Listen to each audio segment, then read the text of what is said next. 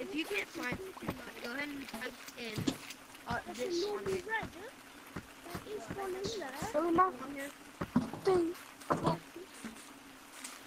Yeah, um, anyway. Uh, No. search.